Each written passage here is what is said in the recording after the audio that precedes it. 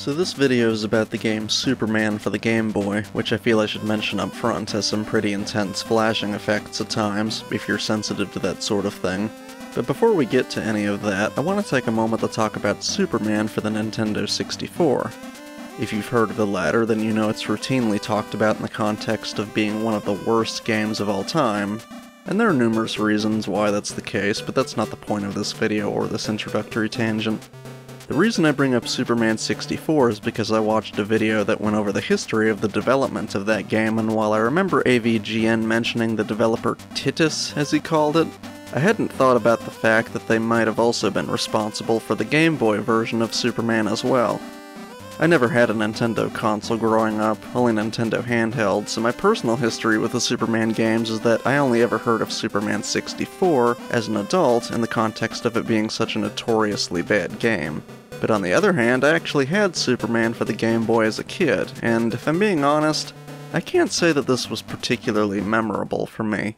Not like Kirby's Dream Land, Pokemon, Super Mario Land 2, The Six Golden Coins, Super Mario Land 3, Wario Land, which might be my favorite Game Boy game that I ever played in retrospect, but man, I hate that title. I just call it Wario Land or Wario Land 1. You get the point. Superman, though, was just one of those games I had. I played it some, never really got far, and yeah, but as a kid I don't recall thinking it was a bad game particularly, just difficult and or boring perhaps, I don't know, but as an adult now, knowing that it was made by the same developer a couple years before the infamous Superman 64 was released, really had me curious enough to try it again. If it weren't for the fact that it was made by the same developer, it wouldn't have even occurred to me to even consider doing a video on this one. So let's get started. After the game's opening developer credits, yeah, there's Titus, you see a picture of Superman, and I'd say that the pixel art looks fine, and I always thought that the way this game sounded was kind of interesting.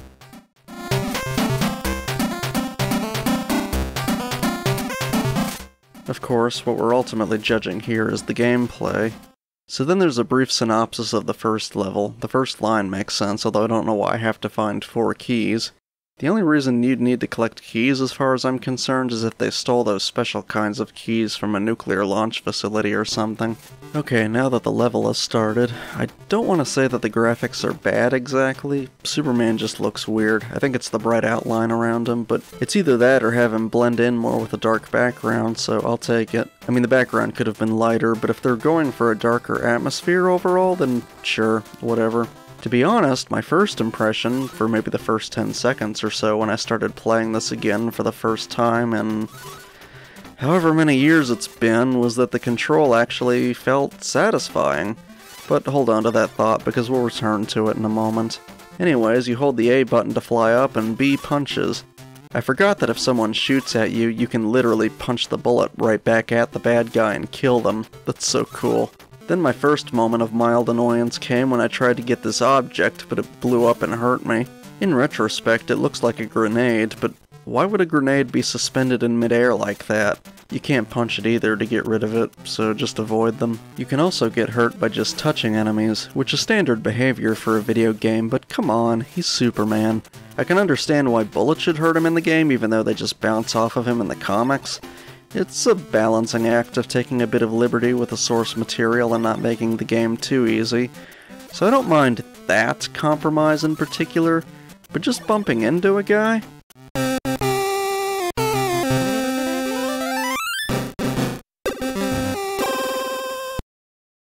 Oh look, they misspelled fortress. And this is what the continue screen looks like. You'll see it pretty often when you play this game, so get used to it. Ah shit, that was pretty much immediate, and I should have known better too. Speaking of taking damage, I wish the health bar was divided into segments so I know how many hits I can take before I die. All you need is a single line of white pixels between each bit of health that you have, so how many hit points do you really have? Well, I hate to give you this kind of answer, but it depends.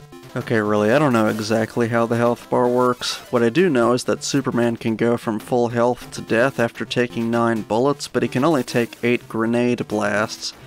And if you get a mix of different hazards hurting you, then who knows. Sometimes you visibly lose all of your health bar but you don't die, as if the game is okay with you having zero health as long as your vitality doesn't go into a negative number. Now, you know how in most games, after you get hit, you have that after hit invincibility for a couple of seconds or so? Well, it's sort of here in this game. I say sort of because the grenades can still get you. That is the biggest load of horseshit I've ever seen. Seeing Superman get hit so much in Flash as a result reminded me that pausing is also literally a trippy experience. When you hit the start button, the music keeps playing, but the screen starts flashing rapidly. I probably thought that was cool as a kid, and I guess I still do now, but why do that? It's even more stressful on the eyes when playing on an emulator, because then you're playing on a larger screen that's backlit rather than a dull and tiny Game Boy display. I mean, I know backlit screens weren't a thing on Nintendo handhelds back then, but you can see why this needed a seizure warning. Also, I didn't realize this until I played this game on a physical Game Boy again to record a few clips, but those bullets are much harder to see here compared to an emulator. They look damn near invisible. It's like playing on an emulator is the ultimate cheat code. So anyways, you gotta collect four keys. Some of these are out in the open and others appear when you kill certain enemies. Which as far as I can tell are the same enemies each time rather than being random, but I'm not sure about the later levels. I also find trying to punch the snipers that are leaning out of the windows somewhat awkward while flying. It seems like I get hit half the time. Oh, by the way, speaking of flying, the speed at which you fly is exactly the same when you're walking. That's kind of shitty. I say kind of because on the one hand, making him fly too much faster would probably be a train wreck every single time if you're trying to avoid obstacles and bullet fire with the screen scrolling twice as fast or whatever. On the other hand, making him walk more slowly would just feel tedious, so... It feels a bit disappointing, but I'm not even sure what to suggest. In any case, you can move vertically, so yeah, also, when you fly up and touch the top of the screen, it's suddenly really obvious that a few pixels are flickering around the underside of his body, which really bothers my OCD. I figured only the cape should be moving. So I get the four keys, then you gotta make your way to this flashing platform at the far end of the level. I don't know what it's supposed to represent. You touch that, and Superman looks like he turns into a ghost and flies away. I don't know what it is, but as a kid, that visual creeped me out a little bit for some reason. Just a combination of the way he freezes into that pose and then just smoothly moves up the screen while he's stiff as a board, I guess. Anyways, the game says, well done! Then you get the synopsis for the second stage, and this time you've only got two keys that you need to find. Then the second stage begins, and the instant you take flight, the screen starts auto-scrolling. I'm starting to find this increasingly difficult now. While I can get through this level on one life, I still get hit a lot. I think it's actually easier to wait for these guys with jetpacks to fire a bullet at you and then deflect it back at them rather than just trying to punch them directly. Fortunately, there's jewels scattered around in the sky and touching one of them restores some health. But unfortunately, sometimes there's a guy waiting near most of the jewels that'll shoot you anyways, so odds are that if you get the jewel, you'll also get hit.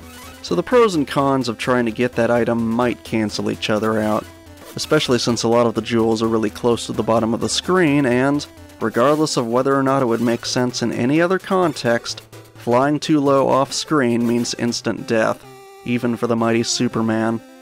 I guess he's really sensitive to sudden changes in atmospheric pressure, huh? I didn't quit the fight. What kind of message is that? You frustrate the player with bad controls and then insult them even further?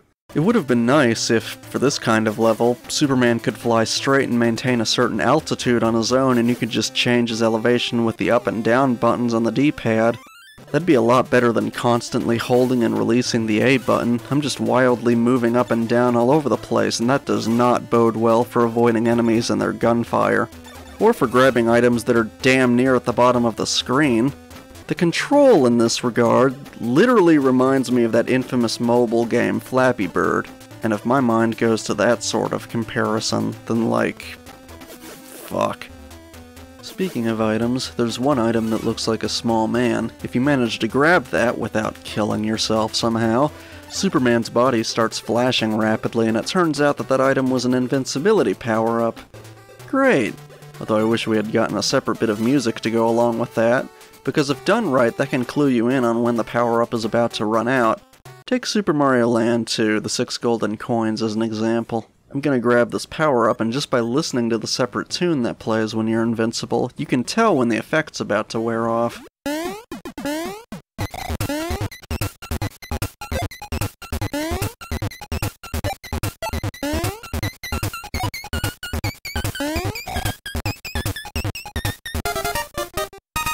The reason that's helpful is because it gives you a brief moment of time to subconsciously be like, oh, it's about to wear off. Do I really want to charge towards that next enemy with reckless abandon now? I guess not.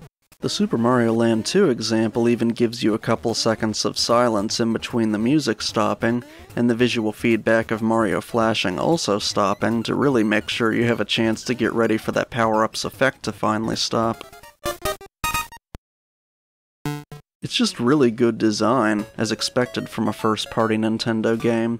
In Superman, you get the visual feedback, sure, but given that the control is much less precise anyways, I'd still just err on the side of caution and pretend like you can still get hit. You still have to punch them anyways, or else you pass through them like a ghost, which is pretty annoying. They don't give you the special music or the Grim Reaper's touch of death like in Mario. I can't think of any other game off the top of my head where you still have to explicitly attack an enemy like normal while you're invincible in order to kill them. In a Mario game, or pretty much any other game, you just touch them and they die instantly, which is pretty fair given that without invincibility they hurt you on contact anyways. Also, I should point out that there's other ways to do the whole invincibility music thing. In Kirby's Dream Land, the special music stops abruptly and the main music comes back without warning, but the visual feedback still persists for a couple of seconds, so the player still has a chance to react and adapt to being vulnerable again.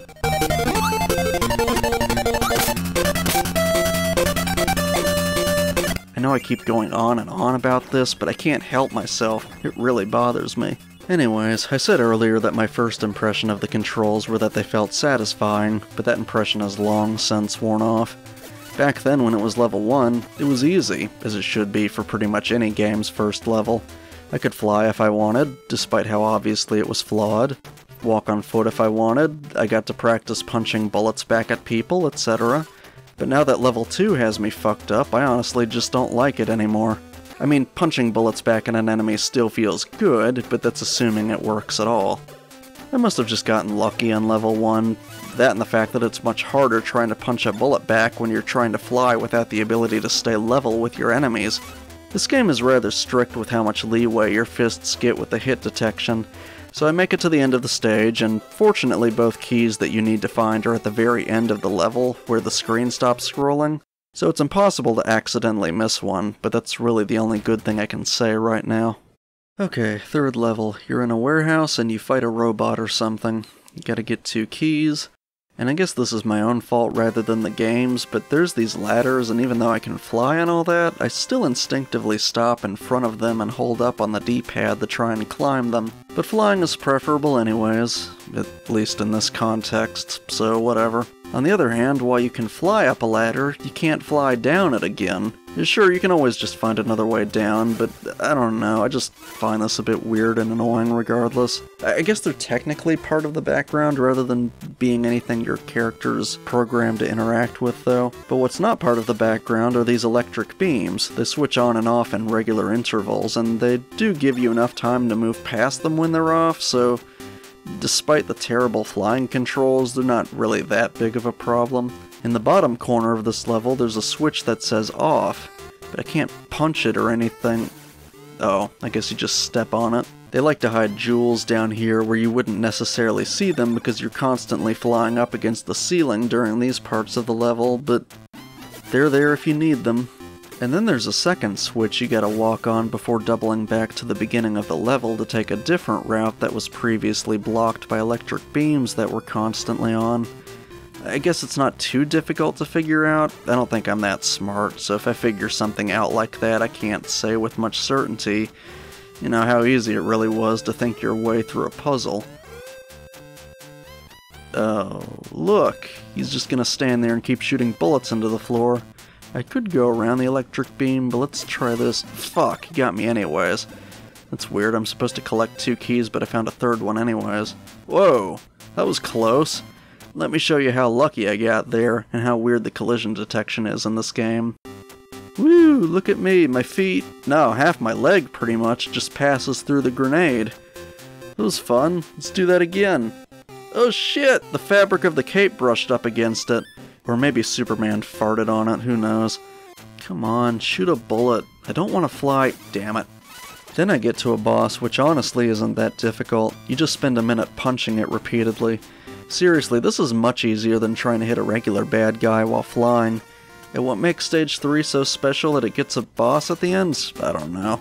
This boss is actually so easy that it wouldn't have felt out of place in Stage 1, to be honest, although if they had a boss in Stage 2 and it was hovering in midair, that probably would have been nearly impossible to hit before you ran out of health, so maybe I should consider myself lucky. You know, it was actually shit like Stage 2 that made me look online for some cheats, but the only thing I found was a level select code that didn't do shit. Then I eventually found a cheat code that was five whole separate lines, but despite it being so long, it's not very comprehensive, since it only protects you from bullets and touching enemy sprites. So grenades, electric beams, and falling down the bottom of the screen still gets you killed. And you know what sucks even harder? These cheats somehow make the flying control even more bouncy than before. Well, sure, the bullets and enemy sprites aren't hurting me, but despite constantly holding down the A button to fly up during this trial run, I still get forced down and killed again. This game is so bad that even the cheats suck, so fuck 'em. I even tried using Visual Boy Advance's memory viewer to look for patterns and numbers to see if I could give myself more lives or health or whatever, but I don't know anything about programming, so in the end, the only modification I was ever able to make was to change a bit of text using a hex editor to make stupid shit like this.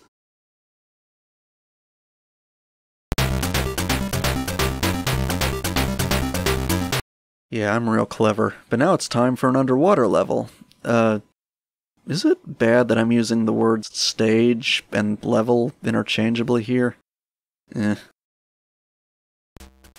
So here's stage 4, and this may have been as far as I ever got as a kid, I don't know. The health bar is on the top of the screen now and shifted to the left for some reason. I don't know why. In order to kill sharks, they need to be punched twice. Why? Yeah, who knows. You may as well do it though. Some of the keys are probably hiding inside one of them, but I feel kind of bad about doing it. Unless you bump into one of them by accident, the sharks don't hurt you. They just swim around and do their thing and ignore you by default. After you punch them once, they try to swim away from you like they're scared more than angry. Poor animals. And the wavy animation that just dominates this level makes sense since it's underwater and all that, but after a while it just gets tiring to look at. And the speed of the waviness seems to vary depending on how fast you're moving, especially vertically. It's a cool effect given that it's the Game Boy, but I think I prefer when it's used more sparingly like a psychic attack in Pokemon or some part of an overworld like in Wario Land. The music for the stage, on the other hand, is actually pretty catchy.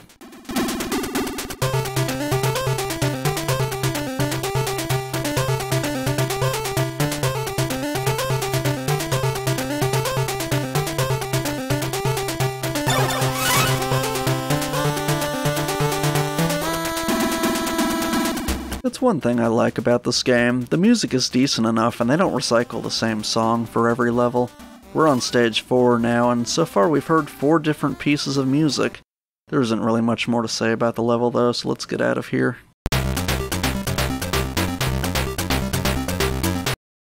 Okay, fight the invaders, blah blah blah. That's a lot of text just to tell you that stage 5 is simply another flying level. I've mentioned before that deflecting bullets is harder when you're flying. When you and the enemy are on the ground, you're the same height, and your fist automatically seems to line up with the horizontal path that the bullet takes as it flies towards you. When flying, though, good luck lining anything up. And how the hell did I manage that? It's like I bounced two bullets off my knee. I didn't even know he shot a second bullet. I probably just got super lucky when tapping the B button frantically. Not to brag, but I'm kicking ass. Ah, fuck, I died again. That would have been cool if I could have finished the level with an empty health bar, though. Apparently there's this glitch where if you finish one level with an empty health bar, you start the next level with a full health bar again.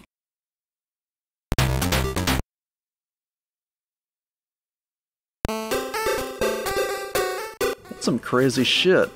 I swear to god I didn't edit that or anything, that's really how it works in this game. But back to the other flying mission that is Stage 5. This time I'm gonna try to just lay low. Later on in the stage, if you stick near the bottom of the screen, you can avoid most of the enemies and their gunfire. There's also a jewel near the bottom of the screen later too, for what that's worth. Also, once again, both keys that you need to collect are at the end of the level, so you can't miss them. Why not just one key? Or none at all? The whole point of this level is to get through the enemies and their gunfire, and since the screen auto-scrolls, there's no element of actually searching for anything unless you stumble across a power-up by accident. I'm trying to get this one without dying. Come on, there we go. Having keys seems pointless if you can't roam freely and explore.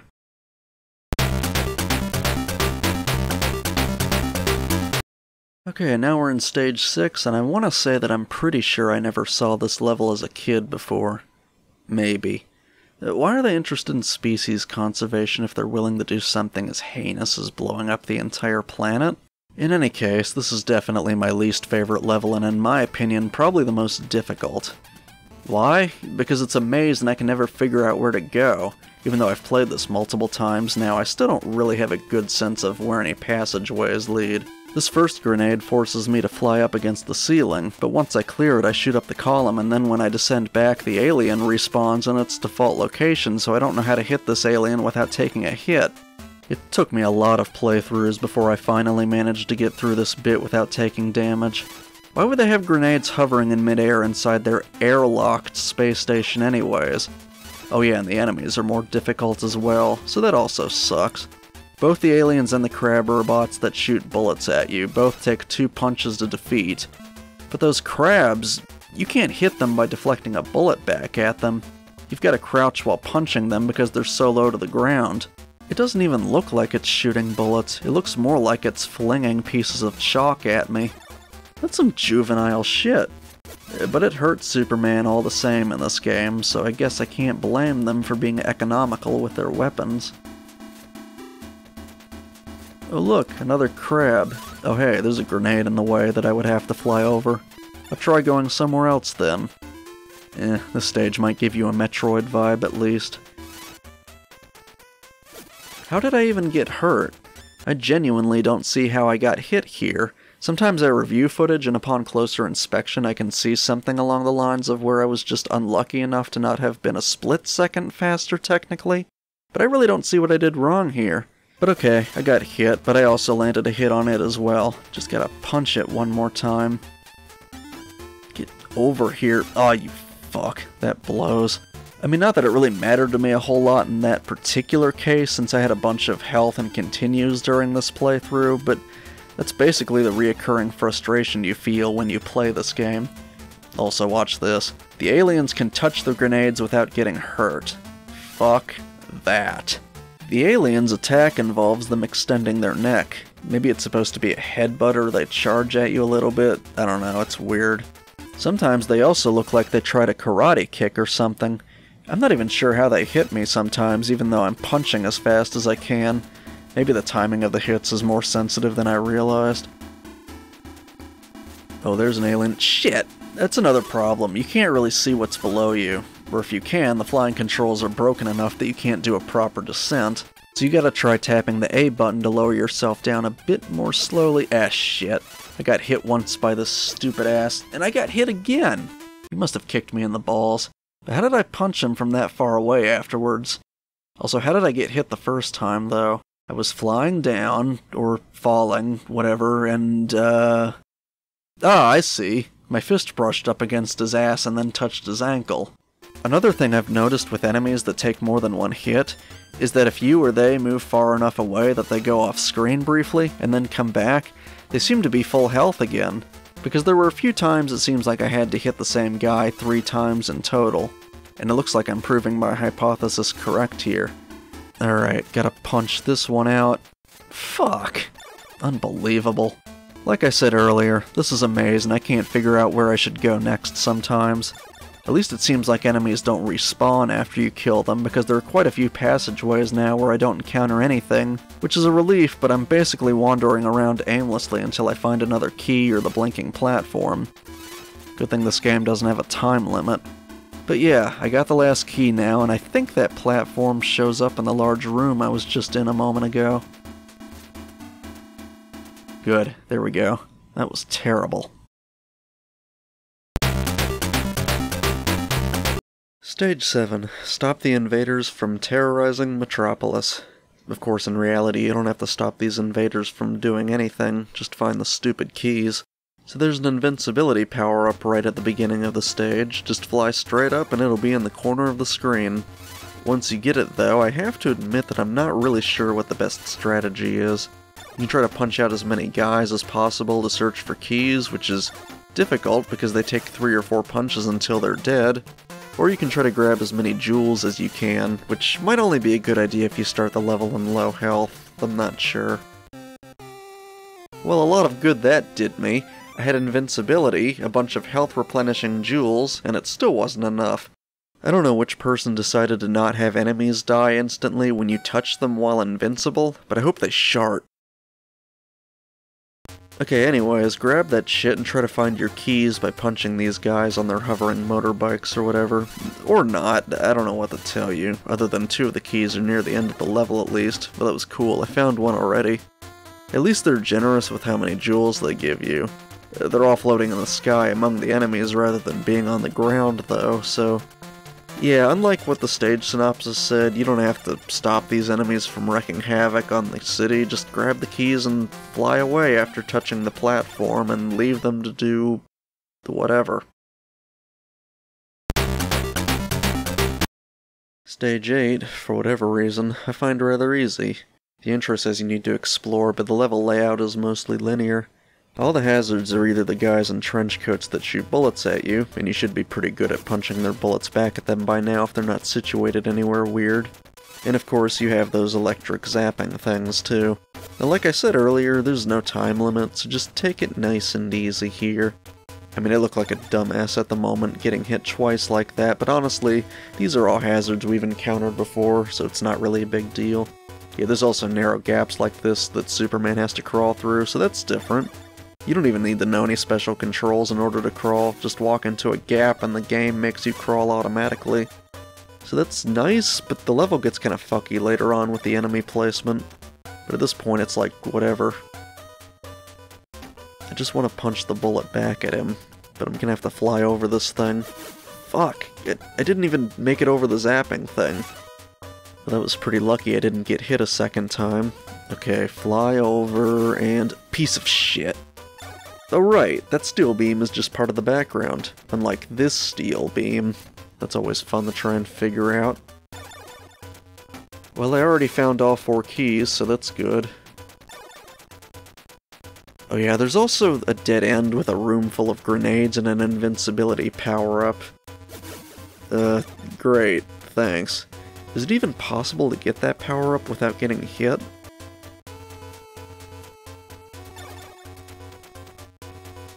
That's when I found out that you can't fly through these electric beams when you're invincible. You just bounce off of them, which is really annoying. Son of a bitch. Stupid asshole. Look at that guy. He's just shooting into the corner of the wall. What? He still got me. Look at this dumbass missing me at point blank range. Oh, fuck, I still got myself hurt. Unfucking believable these are like the easiest enemies in the game, and I got hit three times by this one guy on level ground. And what's the point of the extra keys anyways? Is there a score counter anywhere in the game? Even if there was, it still wouldn't be worth it. Yet watch me try to inch my way forward without touching the grenade. Got it. Alright, that's level 8.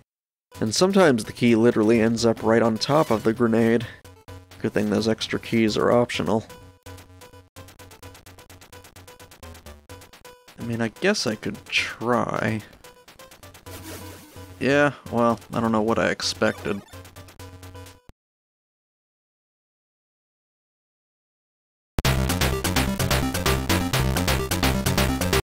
Okay, stage 9. Swim your way through sharks, mines, and a strong undercurrent to find the submarine base. By undercurrent, they mean the screen auto-scrolls. Fucking brilliant. The first time I ever made it this far, I didn't realize that that's what it meant, so of course I died within seconds. And that was on my last continue then, too, so then the whole game was over. Imagine getting all the way to stage 9, only to be fucked over like that. Honestly, the only reason I've ever been able to make it this far is because I've played the game over and over again as I was taking notes on all the weird shit that there is to comment on. Oh shit! Looks like the shark's dorsal fin touched Superman's tippy toe, so he fucking died again. I mean, really. I can kick a grenade in level 3, but can't do that? And another time I died when I just touched a wall, and it wasn't like I got caught between the wall and the edge of the screen, it was near the center. Sort of. I really don't get this one. I had about half of my health bar left, and it's not like an enemy suddenly appeared from the far right side, so what the fuck? And of course, if you get hurt by something, you dive down automatically just as if you were flying, which can be really dangerous because you can easily get caught between a wall and the edge of the screen that way. Also, to my disappointment, this level reuses the same music we got from stage 6. Up to this point, the first 8 stages all had their own unique pieces of music. Now if you're gonna reuse any piece of music though, why not the one from stage 4? That was an underwater level too, if that matters, and it was much more catchy. And after all that, you get to stage 10 only for it to turn out to be one of the least difficult stages yet. I suppose then that it's fitting that Stage 10 uses the same music as Stage 1, since they're both among the easiest stages in the whole game after all. It is the same sort of appearance as Stage 6, but the layout seems somewhat closer to being more linear.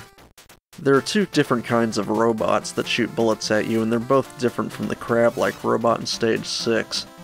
One shoots their bullets at a height where you can easily punch them back, but the other shoots its bullets at maybe knee height and you can still punch it back somehow.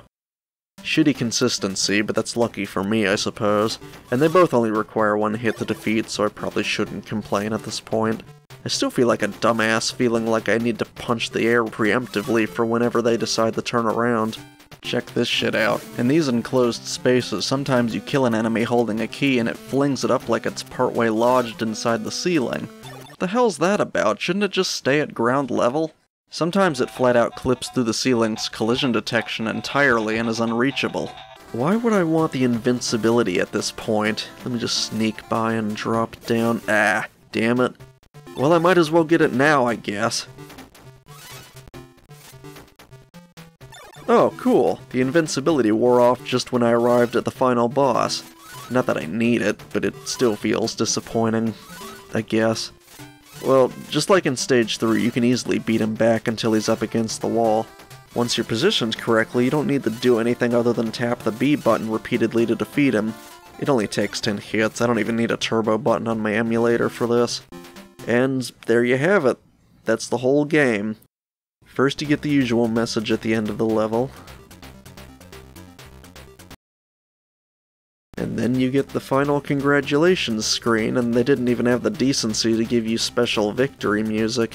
You just get the same tune that plays whenever you beat any of the other levels. And I think the game gets stuck here because it doesn't matter what buttons I press, it never responds again. Not that it matters so much, because what are you gonna do? Play the whole game again if it takes you back to the beginning? I had to play this game several times in order to get good enough to beat it, and by the time I could beat it and started gathering footage, my main playthrough that I recorded was just under 18 minutes. The story barely made any sense, maybe the instruction booklet can clarify some things. I can't believe I still have some of these, nor can I believe that apparently I had the Game Boy Advance port for Harry Potter and the Chamber of Secrets this whole time, and I must have completely forgotten about it.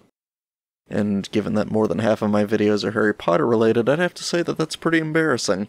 Anyways, if you wanted, you can probably find PDF files of various Game Boy instruction booklets on the internet. I'll just go through this digital version here for convenience. So basically, the story is that some citizens disappeared and you're searching for them. But if you were looking for a prison of captured people, why couldn't they have rewarded the player with some kind of a cutscene or explained the story a little more thoroughly in the game itself? This kind of background story could have made for a cool introductory cutscene, too. And maybe they were under a time crunch or something. I mean, sure, when you buy the game, you get the booklet, so maybe they're assuming you read it. But how many kids are going to read the booklet beforehand? I'm sure a few will, but I think more often than not they're going to go straight to playing the game. Oh, sure, you have bits of text that tell you what Superman is doing before each stage begins, but the game itself never tells you why. So you miss that bit of motivation unless you read the booklet first. The next three pages are longer descriptions of each stage. Not much to say here, except that the description for stage 4 really bothers me. The Lexoskel 5000 is standing guard to the entrance of a secret passage located inside the LexCorp warehouse. The passage is a secret trap door which leads to the sea. Superman dives into the unknown. Most of that is just describing the end of the previous stage, though. Then there's a page dedicated to the hero Superman himself. They spell the word fortress correctly in the booklet, at least. I don't know why they couldn't have done that in the game itself. Alright, what else? There's a boost control? Up and B. What does that do? Oh, okay. It basically makes it easier for you to die. You can't do it while flying either, you just keep punching the air if you try to do that. So forget what I said about Superman being equally fast when walking or flying. Turns out he's potentially faster on the ground if he wants to be. I really don't see the point, unless you're able to outrun a bullet this way. Oh shit, it worked! So I guess the boost thing can still be used for something, technically speaking. Very impractical though, so I don't see the point other than to say that this version of Superman can in fact be faster than a speeding bullet if he really wants to. I mean, for real, it took me several tries to set up that shot just to test that crap out, but it was kind of cool to see, as impractical as it actually is in practice. Okay, let's see. Enemies. The Lexoskel 5000 can shoot kryptonite missiles? It can? I don't remember that. Well, let's see here. Oh shit, yeah, it did something. I can probably get a better view from up here. Well, that's interesting. I never would have known that unless I'd read the booklet, since it's so easy to defeat and overwhelm what seems to be built up as the biggest and baddest looking enemy in the whole game. There's another page of enemies here, and in order to hurt Superman, they're equipped with kryptonite bullets. Okay. So, on the one hand, that makes sense and explains how their bullets are able to hurt Superman at all. But on the other hand, if those bullets are made of kryptonite, how is he able to punch them back? Like I said early on when I just assumed these were normal bullets, I was willing to suspend my disbelief because it's a balancing act of staying faithful to the source material and not making the game too easy. But now it's even harder to suspend my disbelief now that this clarification has come to my attention. what the fuck? Alright, the grenades and underwater mines are also full of kryptonite. Fine. And I'm okay with the electric current hurting him too, but the sharks are just normal sharks, right? That would make sense for them to be normal, since as far as I could tell, they don't really come after you. They only hurt you if you touch them, which is pretty stupid since they're not shooting kryptonite bullets at you. You may as well have just had some underwater robot that can shoot that at Superman instead. Digital keys. You will have to collect a fixed number of keys. Uh, no, correction. You have to collect a minimum number of keys, so the booklet got that wrong. I mean, that's a nitpick. It's not like having extra keys really hurts the game in any way, but I probably have OCD, so I'm good at nitpicking. What I'm not good at sometimes is figuring out how to end the video in a professional manner, but this game didn't even try to give the player a satisfactory ending, so why should I? Actually, no. The best thing I could do is sum up this game's bullshit with one final clip. Superman punched this alien through its fucking skull, and he still got killed.